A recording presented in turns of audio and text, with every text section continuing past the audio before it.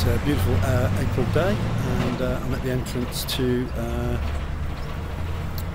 Stafford Victoria Park on uh, Mill So this is effectively the main entrance to Victoria Park. We're going to be having a look at some of the things that are going to change. First thing is going to change is the main gate. They're going to make this uh, a lot bigger and uh, more fitting for the main entrance so uh, it should be uh, should be a lot better.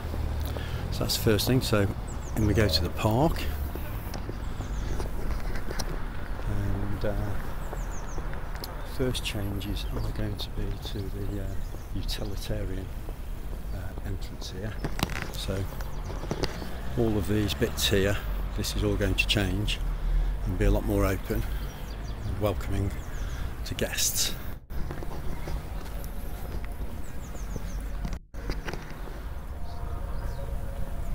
So uh, as soon as, as soon as people walking in, you know, this is what they see. So uh, I think this is going to be a change for the better. So uh, onwards to uh, another another feature which has been here ever since I was a kid, uh, which is the aviary. Uh, it's looking really tatty, has to be said, and I don't think I don't think many people are going to miss it.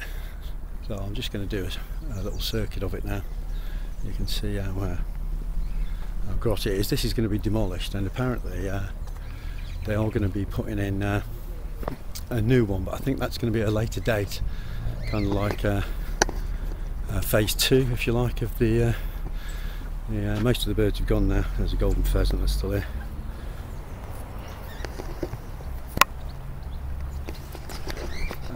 think it's going to be like phase two of the refurbishment, uh, if you like. So some cockatiels are still here. But I've got to be honest, the whole thing looks very old-fashioned, and uh, I don't think uh, I don't think many people are going to miss it. I think this is going to be refurbished as well, rather than uh, got rid of. And uh, the greenhouses here, uh, these are going to all be hidden away again utility spots. So uh, this is the hothouse uh, surprise surprise. As usual it's closed. Yeah that's that's pretty normal. I've only been in there a couple of times. Uh, all the green area this is all going to stay Looking very nice, bowling green. This is the coffee stand, uh, tea area. So this is going. So this is a big bone of contention. Uh, a lot of people, you know, describe this as well loved uh, uh, thing. A lot of other people think like it's a bit of a 60s monstrosity, but you know, make your own decision.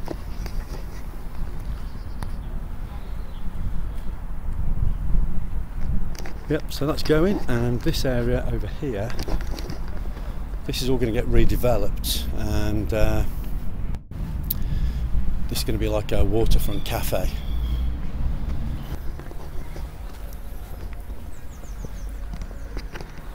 So, so that's going to be like all-weather facility for people visiting the park in the winter. That's going to be nice, I think.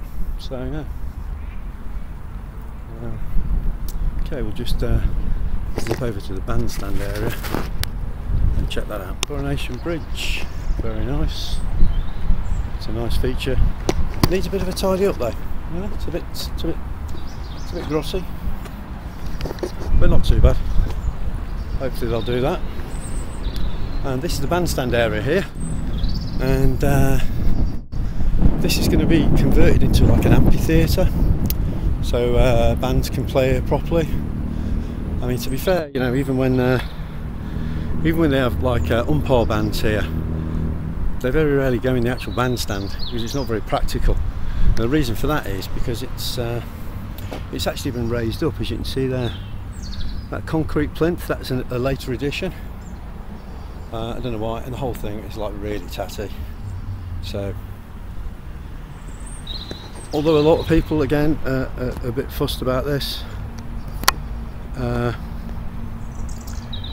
I think you know when they see it all all done, I'm sure they'll uh, sure they'll uh, they'll appreciate it. And I think uh, I think this is going to be a fantastic space for uh, entertainment. So that when they have queue in the park and events like that, it'll be really good. So I'm hoping it'll be a success there. So uh, I'm sure it will be. Onto the Mottram shelter now, uh, which is another uh, much loved feature of the park. Uh, this needs quite a lot of work to it. Uh, they're not going to replace it, they're going to refurbish it, repair it, and uh, when you see it, you can see why.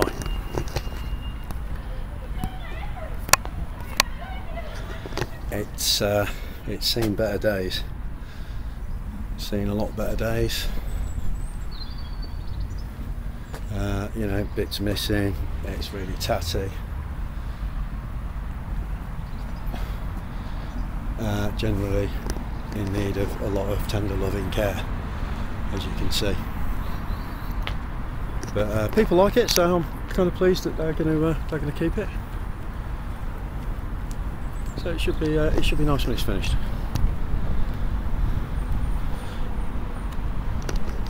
Okay, the last feature, uh, which is going to be uh, completely redone, is the War Memorial, which uh, currently looks like this.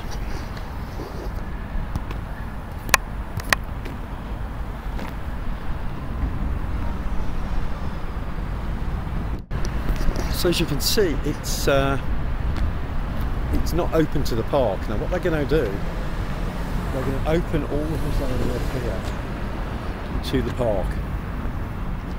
So uh, when we have the uh, commemorations on the 11th, uh, all the public can stand in this area, which I think will be fantastic.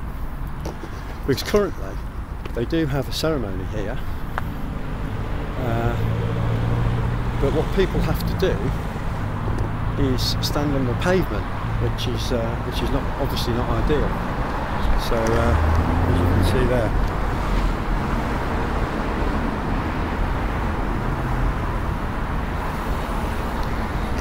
So uh, I think that'll be a massive improvement. I, I really like that idea. Uh, it's uh, it's going to be really really good. Uh, people will be able to pay their respects properly in one place. So yeah, it will be nice. It will be really good. And then you've got the utility gate here. They're keeping that. This is for uh, access for trucks and that when they do events. So uh, that's about it really. I think uh, I think most of these improvements are going to be uh, are going to be good, uh, and uh, it'll be a it'll be a big a big asset I think to to the sound because the park is anyway. I mean it's a fabulous park, and uh, it'll be good to uh, to see it modernised and, uh, and brought into the 21st century. So please leave your comments below if you've got any. Cheers.